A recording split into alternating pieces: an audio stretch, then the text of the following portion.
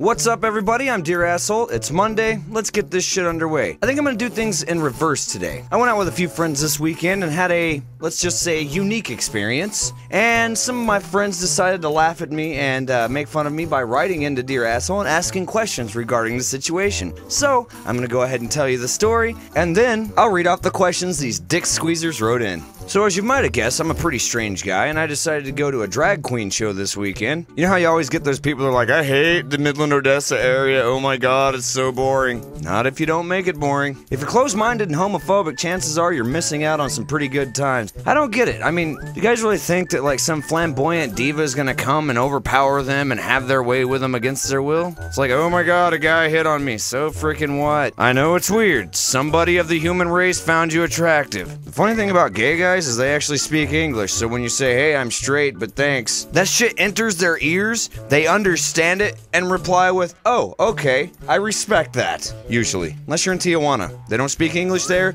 and you're pretty much fucked. Literally.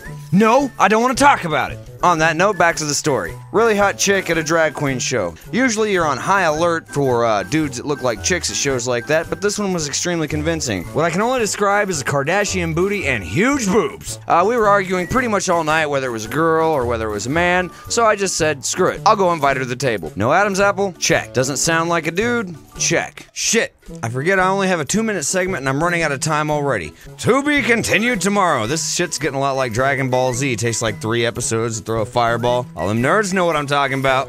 Feel free to go fuck yourself.